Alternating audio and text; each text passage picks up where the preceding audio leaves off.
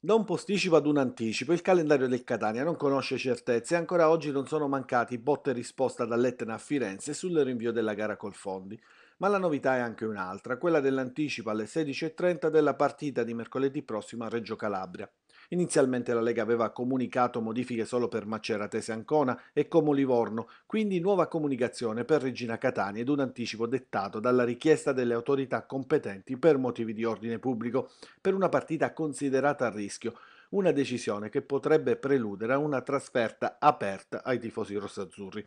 La squadra intanto lavora a pieno ritmo a Torre del Grifo, Rigoli sta sfruttando il turno di riposo forzato per aumentare i ritmi nelle sedute mattutine a cui sta sottoponendo la squadra sino a domani. Da lunedì invece si lavorerà con il consueto programma che precede una trasferta di campionato.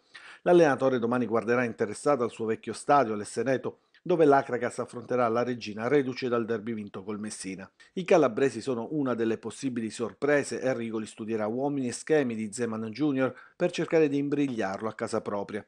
Il clima in seno al gruppo è sereno, il pareggio di Andri è stato accolto con soddisfazione, anche se si confidava di mettere in cascina altri punti ed entusiasmo contro il Fondi prima della trasferta al di là dello stretto.